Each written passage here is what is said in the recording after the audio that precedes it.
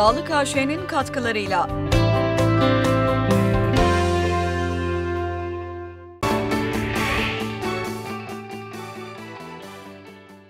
İstanbul 1 TV ekranlarında yeni sağlık programı reçeteyle karşınızda olacağız.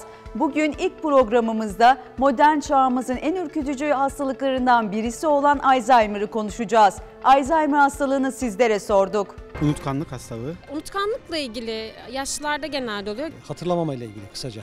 unutkanlık bir hastalık. Geçmişi unutuyorlar. Evet çok kötü hem hasta için hem de yakınları için.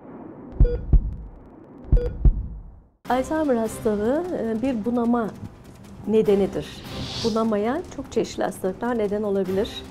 Ee, Onları anlatmayı anlatmak gerekirse e, damar tıkanıklıkları, tiroid bozuklukları, e, bir takım e, dejeneratif hastalıklar yani Parkinson hastalığı, beynin iltihaplı virüs hastalığı hepsi demansa neden olabilir.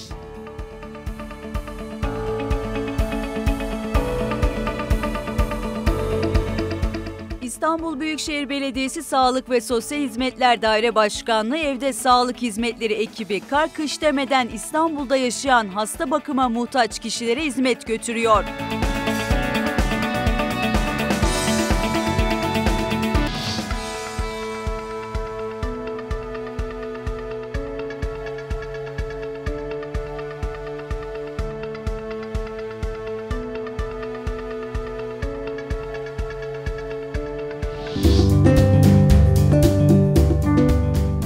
Hizmetten yararlanmak isteyen hastaların Alo 153'ü araması veya ibb.gov.tr adresinde bulunan evde sağlık hizmeti başvuru formunu doldurması gerekiyor.